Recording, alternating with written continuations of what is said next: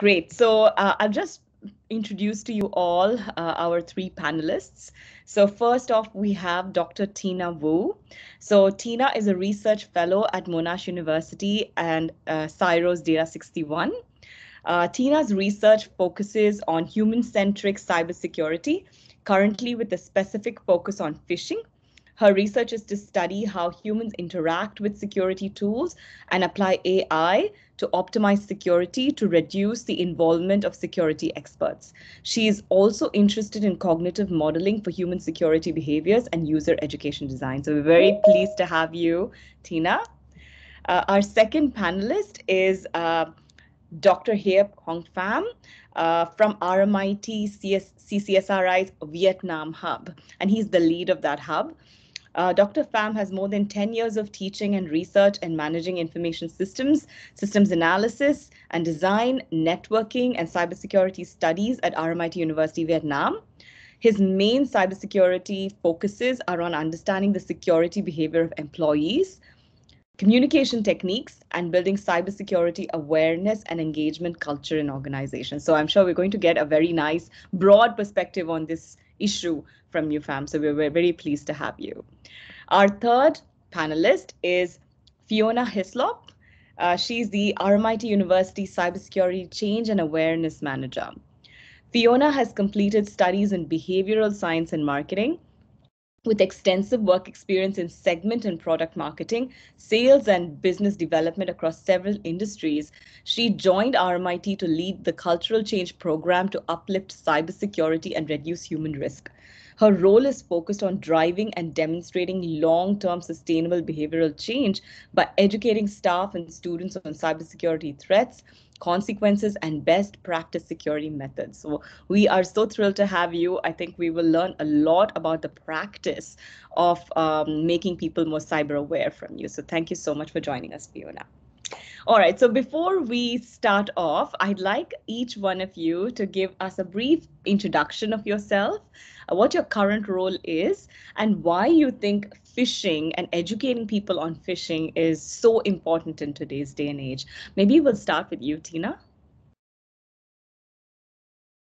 Thanks for the introduction.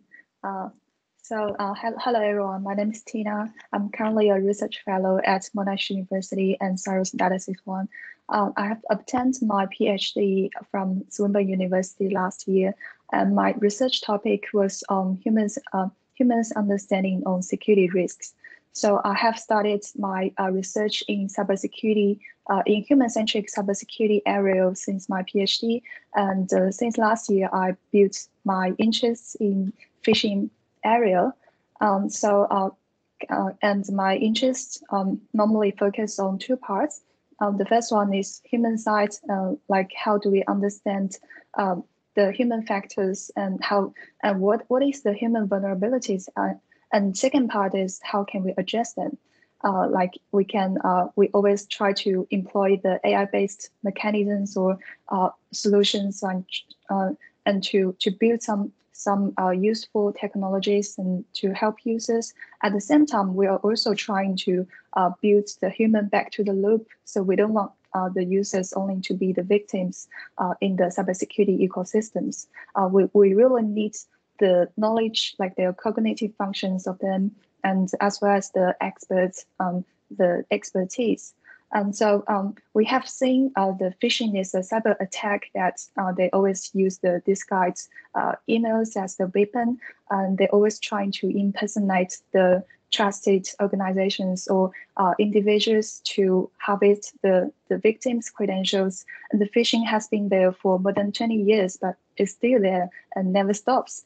Uh, like uh, e even we are trying very hard to like using the the rapid um, advanced AI AI mechanisms and uh, to trying to boost the automatic detections for phishing attempts, but they still uh, uh, provides the opportunities for the phishers to become more and more sophisticated. And they are also uh, trying very hard to bypass the email filters. So um, we can see the, the state is um, the automatic de detection is, is not always 100% accurate. Um, it's not perfect users still uh, get the chance to face the real world phishing emails and they have to make the decisions sometimes by themselves. So, um, and users and phishers are really smart. They know um, they are trying to take, take advantage of human trust, their curiosity, emotions. Like sometimes uh, they will feel of, of um, not doing anything and try uh, and said if you don't do this in 24 hours you're gonna lose something and uh, like curiosity uh, here's something you you're probably interested and then uh, I want to click and to see what happens there. So uh, here, here is the problem, like we are human and we're not machine. So in, in the, like even just a very small chance, uh, the average users uh, are still facing um, the difficult problems. And uh, so, uh, so I think that that is um, really important to bring some um, knowledge to the users so that they can uh, they can still have some understanding and to take the correct uh, security measures uh, when they are facing phishing. So I feel the uh, the like from the researcher side, we have to work really hard to protect the users, but from the user side, uh, they also need to learn something and to protect themselves. Thank you. Absolutely. Very, very valid point, Tina, that you shared about how it's actually the human emotions that are being preyed on. So user education is actually vital. Thanks so much. Uh, I'll now move to FAM. Pham, would you like to introduce yourself, uh, your current role, and why uh, you got interested in phishing and why do you feel it's so important to educate people on, on this topic? Yeah, uh, thank you, Arena, uh, uh, Arathi, sorry. Um, thank you, everyone. So I'm uh, currently is a senior lecturer in the logistics and uh, supply chain degrees at MIT Vietnam. Uh, before that, I also um, major in business information systems. So my background really much about uh, technologies and information systems. Uh, currently, I'm the uh, lead of the C um, the Cybersecurity Research Innovation Hub in Vietnam. Um, you know, have been working with uh, Lucky and Matt. Um, so my my fo my focus area is pretty much on information management, um, security management, and especially on the human factor. Uh, and I have done a number of research. My PhD is also about uh, how uh, employees, you know, react to policies, to requirements that company require them to comply with. And to my studies, that if we force a lot of you know, policies and, and terms and jargons uh, they actually would be overloaded and simply they just ignore. You know, it, it one way that to avoid the reality, which is too complex to deal with, then they simply said or pass that responsibility to someone else. Um, so, and also I did a lot of interviews with, with employees and also I'm involved with uh, some technical manage, uh, administration uh, for companies, um, for a number of companies. So I learned that employees are kind of struggling yeah, with security, even those we talk about phishing. Uh, and then phishing is one of the, to me, it's very important to learn about uh, phishing because it's very effective in terms of the attacker. It's very low cost to launch, but it's very effective to win, right? Um, and that way, even those companies have a lot of uh, technicals and, and advanced techniques, but uh, they still get past the any kind of filtering that you may have. And in fact, uh, out of the statistics, 33% of the cybersecurity attacks are, are phishing, right? So you can see how much it is that would be part of the security risk. Uh, the second one is, you know, if phishing is still very effective, it can get past most of the most advanced filtering systems. And then that's why employees do see email that you know, later on will, will turn out to be uh, uh, an attack. Uh, also, because of the the, the impact from the phishing is also very dangerous. Uh, we're talking about data loss, uh, privacy loss, uh, you know, regulations and, and, and numbers of, of, uh, poly, of uh, uh, compliance that the organization may be subject to if they can't protect their systems and their user from phishing attacks, right? And the last one I would say is that even though phishing is very difficult to detect by machine, by computer, but it can be effectively detected by the user. So then again, it goes back to the user side, the human factor that we need to talk about, and we increase the awareness. Thank you. Thank you, Pham. Very insightful there, uh, which it is quite hopeful as well because uh, while you know technology has helped us so much, what you've really highlighted is that if a well-trained user is actually the strongest protection uh, against a phishing attack. So thank you so much. Uh, I'll finally move on to Fiona. Fiona, would love to hear from you on uh, a little bit of your introduction, your current role, uh, and why you've been become so interested in phishing. Thanks, Arathi. So I'm Fiona Hislop, and my role in the university, as Arathi mentioned at the start, is to build the culture within RMIT, um, staff and students, around cyber culture. Um, it's a relatively new role. Um, I think in traditionally we've seen cybersecurity has had the real tech space, the risk and the business continuity um, and the operational side of cyber. Uh, this now is seen as an equally important um, aspect to any cyber cyber function with your governance and compliance. Sometimes the role sits independently, sometimes it sits under that governance compliance role. Um, all large to medium organisations now um, basically, I guess it's driven by auditors are sort of saying, well, where's your change in awareness cultural um, function sitting? Um, so it's elevated the, um, I guess, the requirement for this role. And I think moving forward, the skill set that someone's bringing to the role is still being uh, it's sort of um, it's picking up on marketing but then i think you still need a technical side of it as you become more threat orientated um, and so I found myself here. I've had a lot of tech marketing background, um, behavioral science, and um, also criminology background as well. So it's a good mix. Um, so phishing is only one aspect of my role, but obviously it's a key part because um, it's the human firewall. And you know we can invest so much money in all other aspects of cyber. Um, you can have everything set up so that it's all uh, well protected but it really does just take one staff or student member to go and click on something um, and we have a problem at our doorstep. Um, it's evolved significantly even in the last three years um, since i joined rmit there's been um, phishing providers that provide a platform for us to um, push out simulations to staff. Um, those platforms have evolved considerably in terms of the complexity, the data analysis, what we know about people and the behaviours behind the scenes. Um, so it's a fascinating space in terms of that regard. I sit here now three months later and I've got a really good handle on um, what everyone in the university is doing, um, who is susceptible, who's not. So I know my user groups that I can work with to actually spend more time with and really take them on that journey of learning so that they're not as susceptible to phishing. Um, the it, we've recently just uh, again it's part of our partner that we work with um, is a fish icon alert on our dashboard so that it's a lot easier for staff and student with staff actually to report phishing uh, we've got 12,000 FTE staff so it's a very big uh, staff base that we have to try and uh, manage I guess in terms of bringing them on that learning journey. Um, so it makes it easy to report. But it's not so much those ones that matter because our systems and the AI can quickly pick up where there's issues.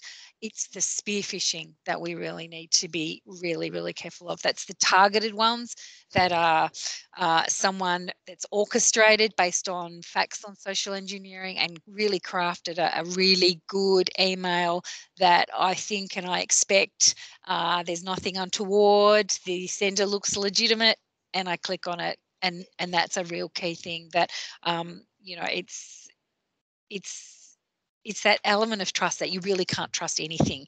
You have to check everything. And so, whilst things might look a bit suspicious or a bit unusual, if it's falling in and it's part of something that would be expected, that's where, and you don't check that sender or that link, you're in trouble. So, yeah, interesting space. And it's come so far in such a short time. And that's not within RMIT. That's the global players playing in this space to try and help the market evolve and help them get on top of phishing. I think that's very insightful, Fiona, because it's true. Um, uh, I think spear phishing is dangerous because uh, there's so much more trust that we have from the sender, and which is why we kind of uh, sweep over things that we possibly would have be suspicious about if it was just a general email. So thanks, thanks for highlighting that. Fantastic. So I think we're going to have some really, really um, great conversations here.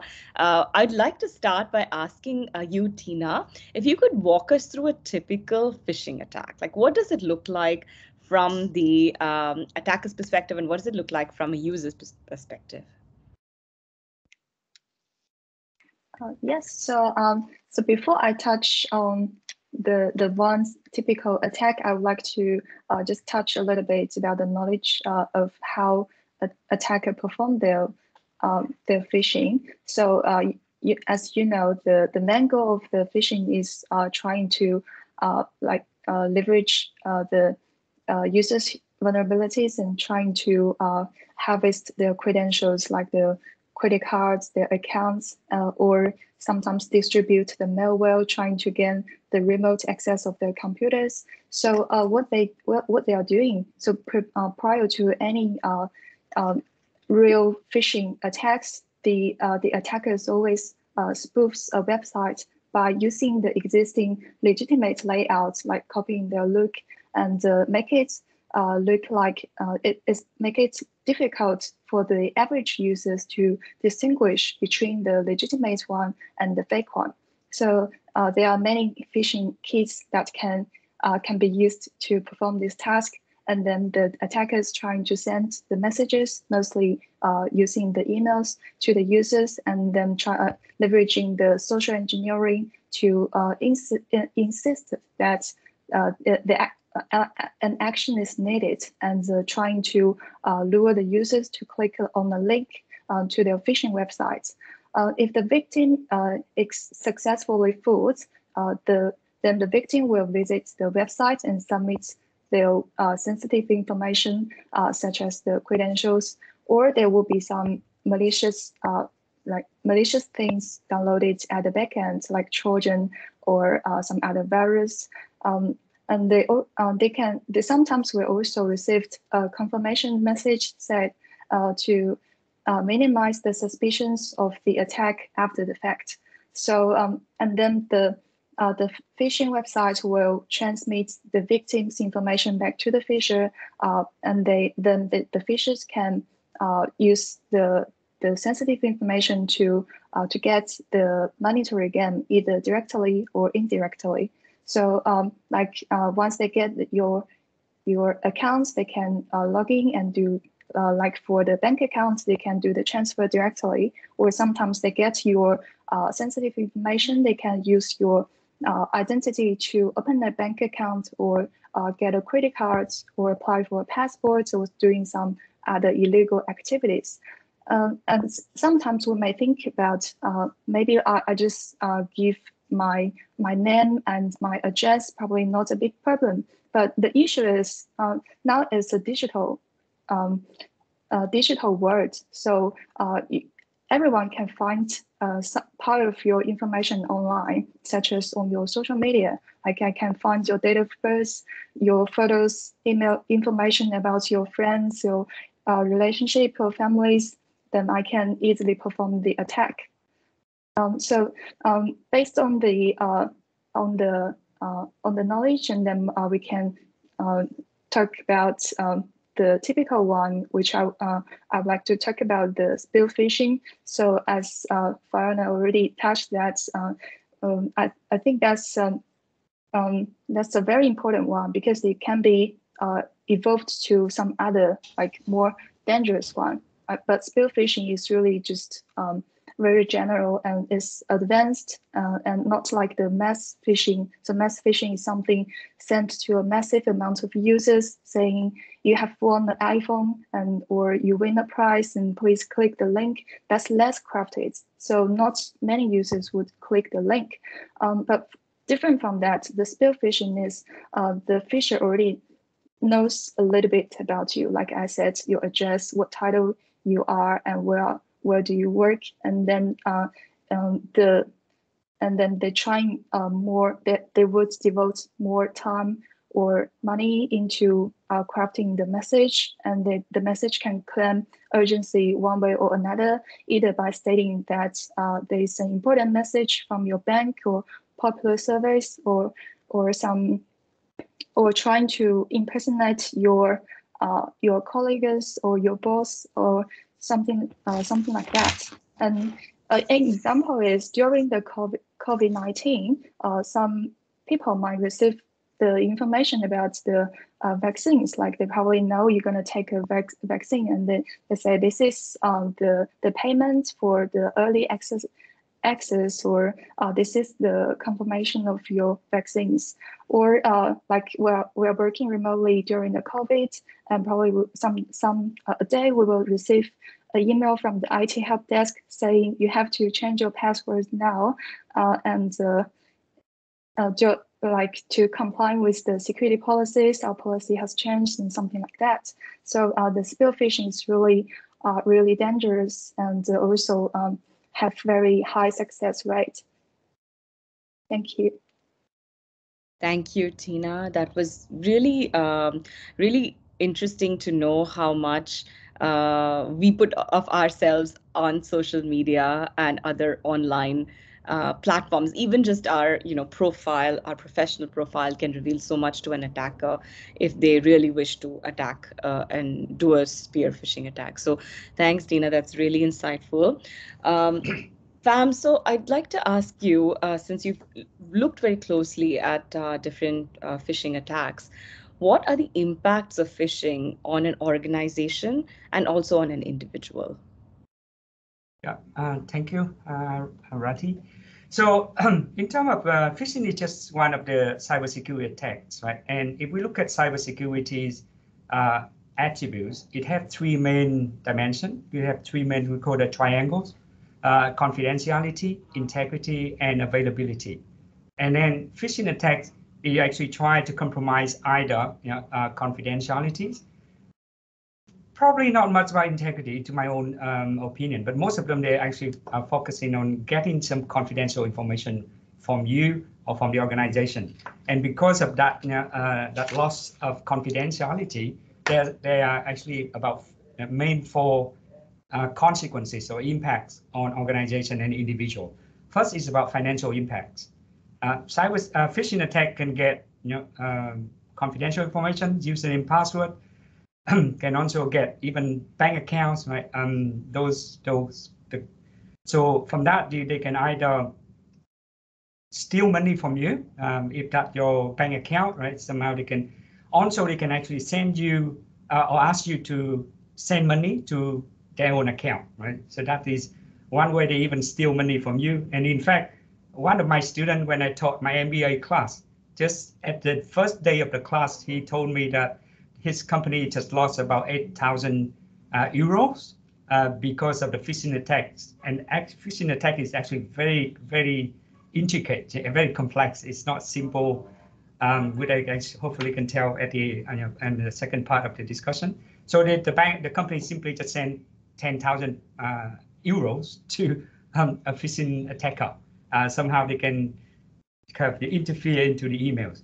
Uh, also, because of loss of confidentiality, in many industry, like banking, health industry, education, uh, companies are subject to um, regulatory regulatory compliance, and we're talking about millions of dollars. If the company cannot protect the, the uh, confidentiality of their customer, so once the company store the customer information, they are liable and responsible for protecting that.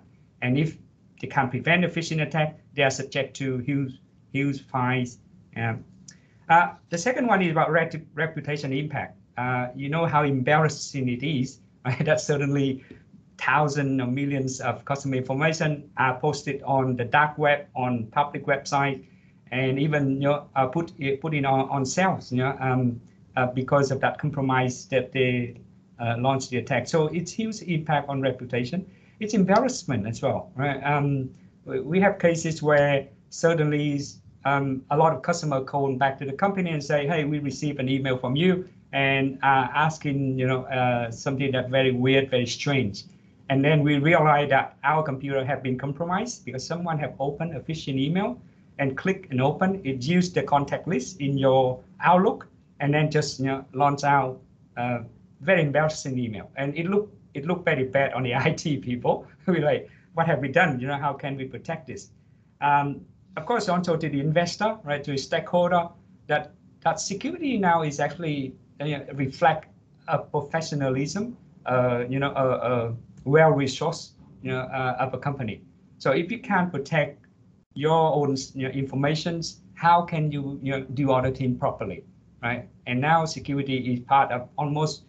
Uh, look at a few of the business tender. They always ask about what is your cybersecurity policy in addition to financial capability, you know, your staff resource qualification, and then how you manage your security.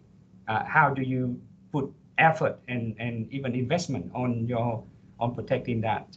Uh, the third one is about intellectual properties. Uh, so because confidentiality also you know, relate to some um, financial trade patterns, uh, scientific uh, algorithms. So that when it's compromised, that also uh, compromise that intellectual properties that you have spent uh, a lot of money to develop. Uh, the last one is about business disruption and productivity. Every time when yeah, uh, some the IT team, I'm sure when they receive an email that some some uh, staff just click on the link uh, and do provide you know, some password, the first thing you would say, please change your email, right? And that is, if you're looking at you know, a large scales, a big organization, that's a lot of work, right? To reset the password and uh, especially if to do with a bank, it's not, you know, there's a lot of, of, of, unproductive time that you have to deal with. The IT, IT staff have to restore data. If you actually lose the data you know, or, or data corrupted, then you need to restore. So you get, you need to get from backup data, you need to restore it. It takes a day, it takes two days, right? That's a lot of disruption repatching the system. So we know that when it's compromised, as, as uh, Tina said, sometimes they launch you know, uh, uh, launch malware into your system. That's even worse. That take you know, they scan the whole system, take the system offline, uh, scan it, find the patch, find the malwares, patching it. That maybe is a few more days as well. So there's a lot of business disruption and productivity. Whenever someone reported that, I just click on the link and my heart just like tum- me up and say, why you do that? So it's caused a lot of work for me. So yeah, that is some some of summaries of um, think about the impact on you know phishing on on organization and individual. Thank you. Thank you, Pham. In fact, I think what you've highlighted is um, it's quite disruptive from many, many different angles, apart from financial loss and personal loss uh, of uh, you know reputation it also disrupts business continuity uh, and also creates a lot of overhead trying to restore the systems back to back to normal operations. So thank you for highlighting that. Um, I'll, I'll come to fiona now. Fiona you're a practitioner and you're trying to defend your organization against many cybersecurity threats including phishing. Uh, what are some of the methods that you have found have been actually effective uh, against phishing. Fiona, you are on mute. Sorry. Um, look, I I sit here. We're still on a, a on a big journey. I think um, I could confidently say if you had someone who really sat down and orchestrated a really targeted spear phishing um, there would be a high chance that it would still get through. So my journey is far from over.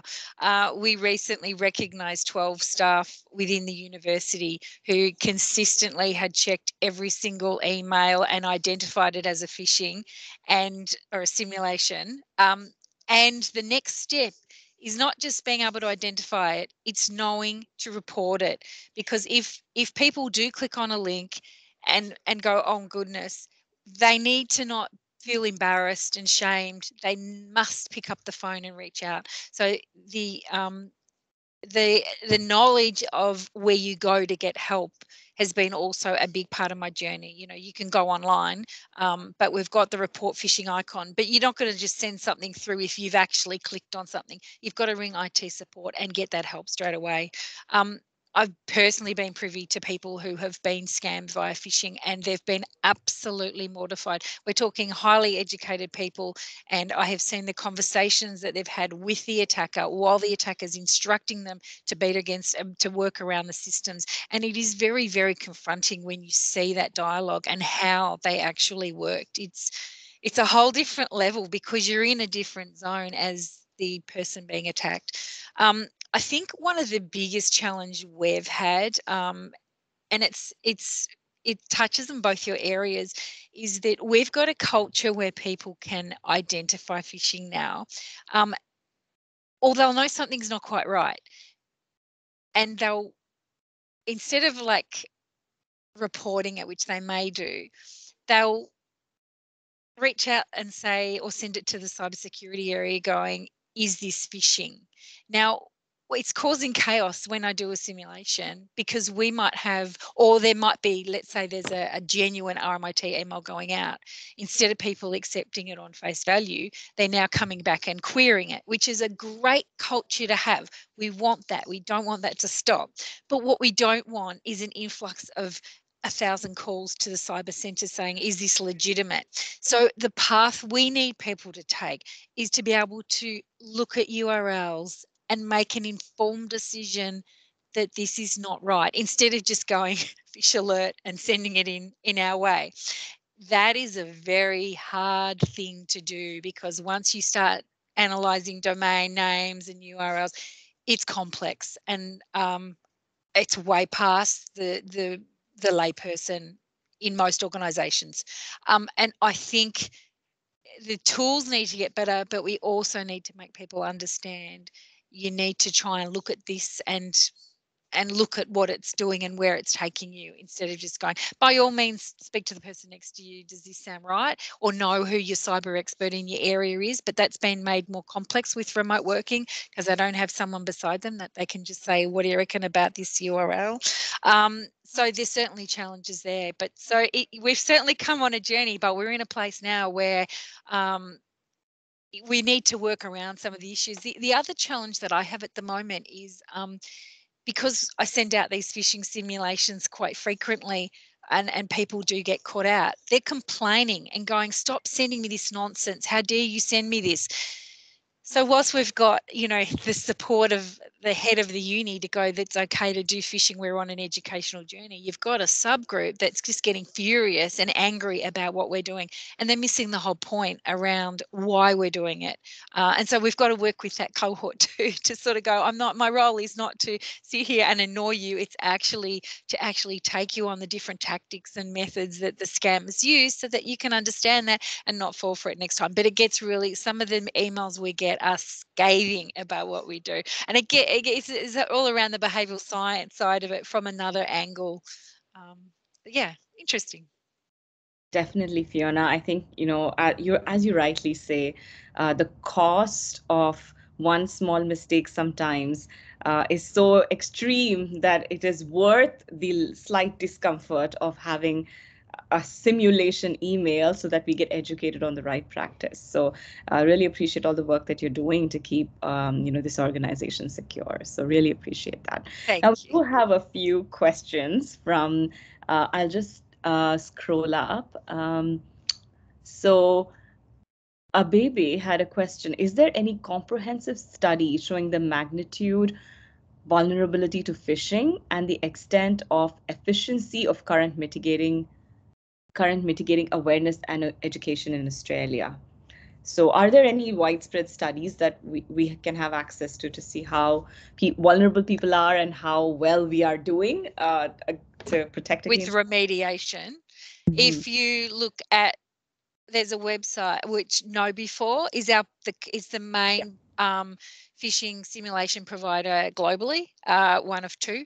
Um, if you look at their statistics, I think it, it's the improvement from having no simulation and then even from the first simulation, my understanding that I read recently, I think there was a 40% uplift in awareness around phishing just from one simulation. And after a 12 month program, you're considerably better off. Um, so yeah, there, there's definitely statistics. I don't have them offhand, but if you look up KnowBe4 uh, phishing um, benefits, you would get the exact stats on that. Fantastic. Thanks, Fiona. Appreciate that. Pham, go ahead. Um, I actually don't have specific figure for Australia, but in, in general, some of the uh, cybersecurity uh, service provider, they do the, the statistics. So nearly 90% of all businesses receive some form of phishing attack, uh, phishing um, email, right? Um, and then probably about uh, one tenth of that may have some click on that uh, that link.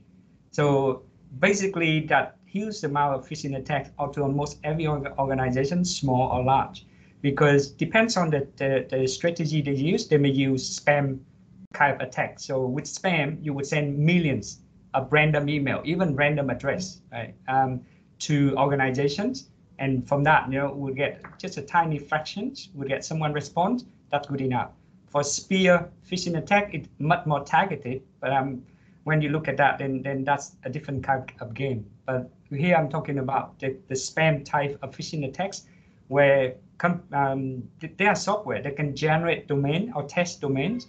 We just ping you know, the domain. If the domain respond, we know it exists. And from that domain, I just get a random name and people have you know, first name, uh, last name or first name dot last name. They just try own uh, combinations and then just just you know mass email, uh, and somehow they would get through to someone. So that kind of attacks almost you know would would attack indiscriminately, um, regardless of, of uh, as long as you go online, you get some kind of domain names, they can test and they can they can find you.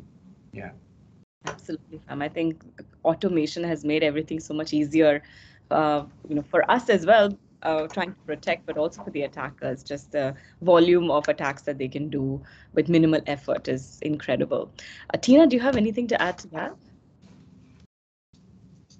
your any, uh, research that you're aware of that that has studied about the effectiveness of some of the current strategies or um, how vulnerable we are at this stage? Um, yes, I think um, for the I think most of uh, current phishing awareness campaigns are not very uh, effective um, because most of them are using the materials maybe designed five or six years ago, and those phishings are not uh, you know uh, prevalent uh, nowadays, especially during COVID. You probably uh, really hard to find any uh, training about COVID-19. Um, and uh, yeah, I, I, think that, but, but I think people still need it because that's the basic knowledge they have to gain. But the, the I do feel the phishing training uh, campaign needs to be updated like every few months or uh, one uh, one year. But but I uh, honestly I don't have experience in uh, in running the campaign. So uh, I don't know how it costs, but I think this, yeah, uh, it's oh, worthwhile just, to do. Yeah, uh, Tina, just on that one, the um, providers now, um, uh, the simulations available on the fly. So if something was circulating now, we can turn it into a live simulation straight away. So it's going into a database and we can send it out as a simulation same same you know couple of hours so they've actually made that really effective in terms of um, replicating what's circulating in the market. Thank you. That's really good to know. Yeah. Thank you. So uh, what, what I said is ju just really uh, about the traditional uh, phishing phishing campaigns, and I feel the probably the the one uh, is is very you know if it's updated uh, like with with the most sophisticated phishing and with some real world uh, phishing emails, I think that would be uh, very successful. Yeah, uh, and another thing I would like to uh, uh, discuss, uh, probably just a little bit beyond the awareness, is about the reporting. So I, I do feel because I did have some user studies with with our participants, and and we find more than ten people are willing to report the phishing, even they are quite sure uh, it's phishing. And uh, um, I think one uh, one reason is they can't get a response all the time because and they can't see any benefits. Even uh, learning the new knowledge like if i report the phishing email then i know it is correct. And i know uh, who uh, who is sent with what intention and then that that will be the benefit i can get. But without that kind of benefit that then users are not probably just mostly ignore it and even not trying to delete it. So that's from my opinion. But if we can get uh, increase, uh, into um, like implement the reporting process into like the current tra uh, training or campaign. I think that would be also uh, useful, but that's um, only my own opinion. Thank you.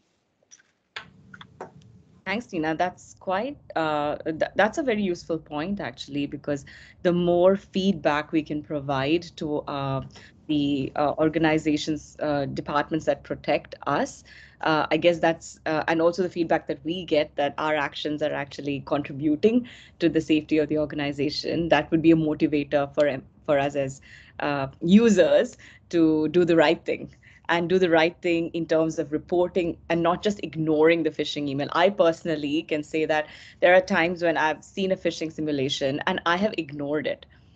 And before we had that report of phishing, uh, I would just ignore it. So I knew it's phishing. I'm not going to touch it. Uh, and I know it's a simulation, but I, there was no incentive for me to go and report it because I knew it was just a test and I passed the test in my mind. So what what would you suggest for users like that? Like how could we be encouraged to do the right thing and report every time because that'll show you that we are aware and we know what to do. And I mean, uh, Fiona, Pham, uh, either of you can take that. When when you click on a simulation from RMIT, you get a um, congratulations depends on if you send something to the the report phishing mailbox which is our, our mailbox we've set up um, which is the same as the phish alert icon. You get a thanks, you've helped us. There's three categories. Thanks, you've got onto us, or no, this is okay, but thanks for checking. Um, or there's a third one.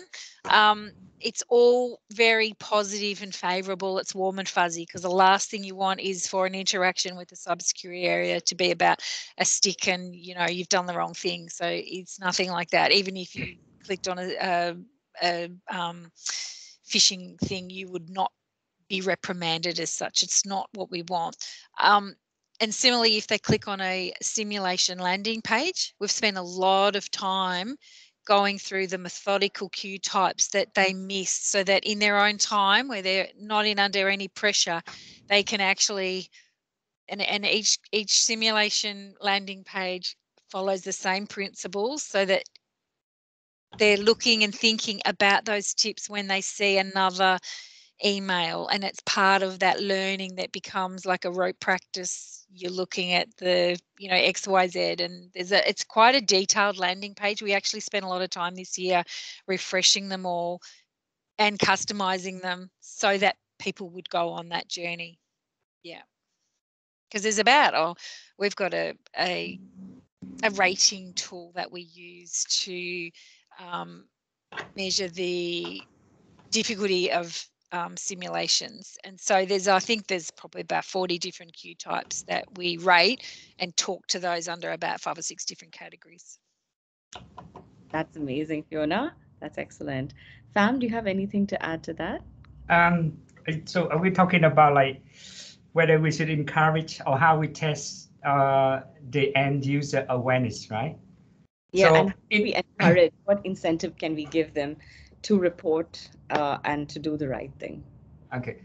Um, in fact, I, I have noticed uh, one of my colleagues, you know, when he clicked on that RMIT test, you know, as phishing test, and then uh, he got a message that you know we just tested you like this, and you have clicked on a suspicious link, and he was upset. You know, he was upset that uh, why did not you tell me in advance before you test? I, I just overheard that. I'm like, I'm laughing. I'm like, that's the whole point.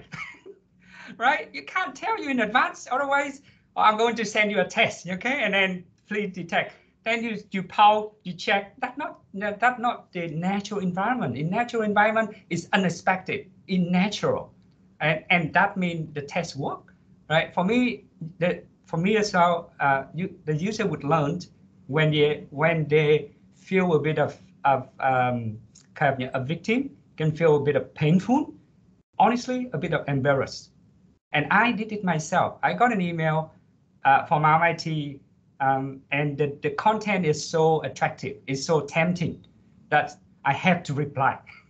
then I click on the report, and then I realize, oh no, you know, I make a mistake. It's a very embarrassing mistake because we, I teach about security, I, I teach about human behavior, and I'm a victim. And that I love it. That's the whole point that you need to make the test as real as possible, right? And then the user can can learn from that and be more cautious next time. And I'm sure every time now I receive an email from MIT, I will double check everything. so um, so it, it, I think to encourage the user, it actually, yes, we need to have periodical uh, awareness session. Uh, we don't actually tell them when we test, but we say that we have regular testing. But but I don't think that we tell them next week we will test a bunch of email. Uh, and then the user, you know, they lapse in times when they get, get very confident, very, you know, risk-free, and then suddenly uh, we just have a, um, a random test. And that will let the user always on alert, right? Not like scare, but on alert and keep, you know, very common sense, uh, cautious, and that will, will maintain that, that you know, uh, attention awareness for long term. Absolutely. Thanks, uh, Pham. I, I think that's really important because uh, at the end of the day, we all want to get through our emails quickly. And I, I saw one of the messages as well. It's also a time pressure thing to make sure we get through things, but uh, uh, it's so important for us to be aware when to stop, wh- what to look for, and then how to report the right thing. So, um, just looking at time, we possibly don't have time for any more questions. But as we wrap up, I think discussion. We could go on for another hour on this topic, I think, because there's so much to talk about and there's so much in this rapidly evolving landscape. Uh, and as the attackers get smarter and smarter, we have to become smarter and smarter as end users to, to be that you know human firewall. Uh, I'd like to ask each of you as we wrap up, what are the common trends that you have seen that are emerging uh, in phishing attacks? And um, what are the recent approaches that you have seen and that that could be really effective today uh, i think i'll start with uh, tina and then we'll just go around Yep. Um, so I can see the common trends is uh, users such the phishers are trying to leverage the le legitimate service instead of the malicious content like before. So according to the Google browser uh, uh statistic, we find uh, in last year, the uh, Google has registered like 1.69 million uh, phishing uh, websites, and it has uh, rise to more than 2.1 millions this year. And for the for the um, but for the malicious websites, is just one, uh, just 20 20,000 something from last year, and still 20 27 or 28 this year. So um, so the so because um, the current security um, tools are really um, really brilliant and cybersecurity experts are trying really hard. So uh, they're they're using the legitimate service. Uh, one example I can give is uh, as during the COVID situation, we're working at home, and we are uh, currently trying uh, using the like productivity service like Google Drive uh, and uh, uh, Dropbox, something like that. And uh, the phishers also trying to abuse it, like the they use the Google uh, Google Forms uh, and uh, pretend to be a like AT&T and request the users to fill in their accounts account numbers and passwords and things like that. so you can see the the whole way is totally legitimate and it cannot be detected by any of the detection um, engines uh, unless they know the how they play with that. Um, so I think currently uh, there are many phishing uh, detection methods. As I, I, can see a question in the chat uh, is uh, like AI in phishing detection. So I, think there are many methods using machine learning to detect, trying to uh, extract the features from the phishing itself, from the subject, content, links, etc., uh, and also some something using uh, AI like neural networks and to analyze the the like using natural language processing to analyze the semantic or synthetic things from the content uh, and uh, uh also analyze the link like using uh, the blacklisting to block the, the one reported or uh, they find.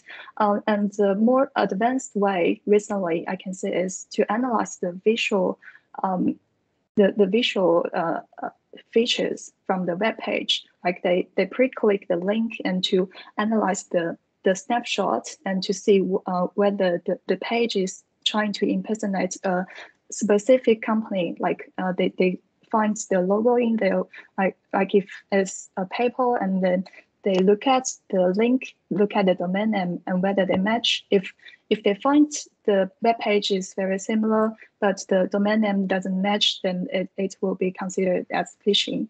Um, and uh, maybe an, uh, and another uh, angle is uh, we're trying to make it explainable, like explainable AI. We're not just telling users uh, whether this is phishing or not. Instead, we tell why the the methods consider this is phishing. Like we detect the it is trying to impersonate uh, a specific brand and uh, uh, the link not match and uh, how how does it work and the workshop what actions should you do trying to give uh, more uh, meaningful information to the users and ask them to make the final decisions thank you Thank you, Tina. That was um, very useful to know that there is uh, so much still to be done in this area because you know things are evolving so fast.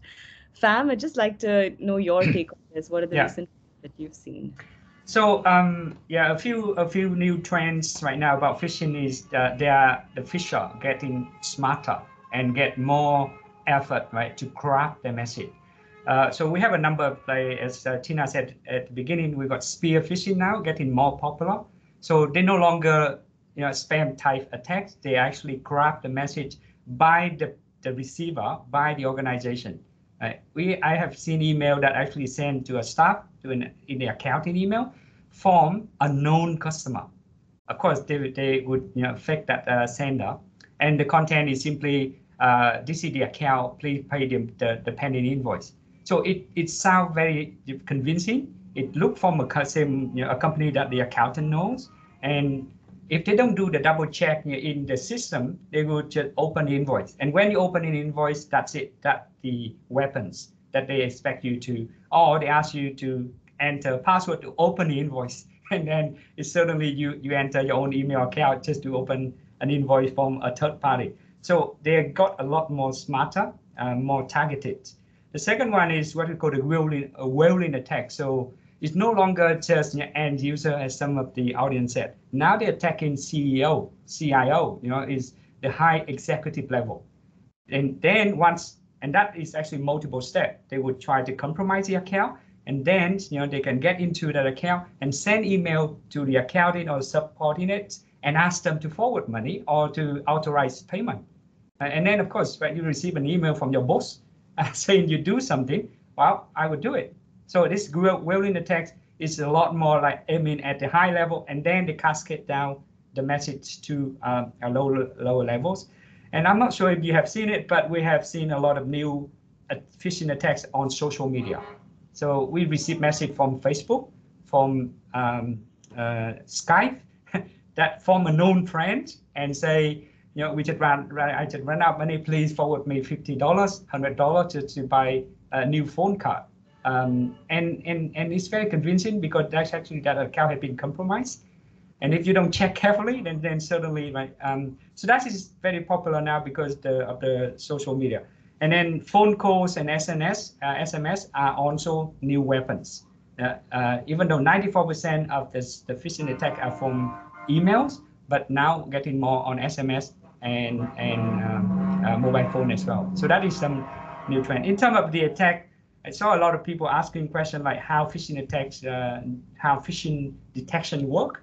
So it, they check a number of, you know, check the URL, they check known URL, they check uh, the content, is it lots of spelling and grammars, uh, they check the greeting, even you know, in, in most phishing email, they check greet in general, uh, dear and hi without name. And when you see something just dear, then you know that something you know, would be uh, wrong. Machine learning is also a new technique, so because it can adapt to the content that keep changing. Um, another method that we use now, a lot of like large email provider, they, they actually have you know, kind of collective uh, uh, intelligence. So now they look, they don't look at a single company, right, to filter. It's very difficult to detect that. They look at, at the main gateways where every email going through, and then they can see the trends that there's a spam, there's a phishing uh, campaigns that launch, and then they even stop at the uh, at the at the common gateways. Uh, they use sender reputation to, to see what kind of reputation from the sender. Uh, a lot of them are spam. They actually have very low reputation, and then email server will stop even you know, ac you know, accepting that email. So that is some of the kind of uh, collaborative and, and, and large scales um, uh, in terms of you know, uh, preventing and detecting spam or phishing attacks. Thank you. Thanks. I know it's run out of time, so. Absolutely. That's very insightful to know that I think a key word you mentioned is collaboration. So when the organizations collaborate, we're more effective against these sorts yeah. of attacks. Thank you so much. And I'd like to hear from Fiona uh, as we wrap up. What are the trends that you've seen emerging and uh, what have you seen as being most effective at this point? Oh, you're on mute, Fiona. It's, it's more around the obviously business email less uh, we haven't seen a great um, prevalence of it in the uni. It's definitely around the themes, which you know Australia wide was COVID and vaccination related. Um, the challenge that we have, which is worthwhile pointing out, you've got to be mindful. It's very difficult for me to get approval to do a simulation on that sort of thing because it causes mayhem in an organisation where we are actually wanting vaccination certificates to be uploaded and things like that. So to get the people area to endorse a simulation that does that, whilst we've got sort of one hand saying yes, we support simulations, when we want to do something that is so closely aligned to the attack frameworks, it becomes very challenging. Um, and also then the challenge for us also is the other mediums they're using, vishing. If we were going to go and do vishing campaigns, and vishing being targeted more like at the senior executives to reach them when they're actually going to pick up their phone. Maybe they pick up their phone in a meeting, but the timing of sending out these vishing simulations is also challenging. So we've certainly got some challenges in terms of the educational space sitting behind the scenes of what you're what the front you see, which is um, making it challenging for us as well. Thanks, Fiona. Uh, I think this has been a really, really great discussion. Thank you to all three of you, uh, Tina, Pham, and uh, Fiona, for your insights into this really, uh, I guess, very pertinent topic. Uh, and I'm sure the lessons are continuing to be learned as we speak. And uh, we look forward to hearing more updates from each of you in the coming months. Uh, but thanks to everybody for joining us for this uh, panel discussion. I hope you got plenty of ideas and things to talk about and research. Uh, but until next time and the next series, I will be signing off. So thank you all for joining us uh, this afternoon. Bye.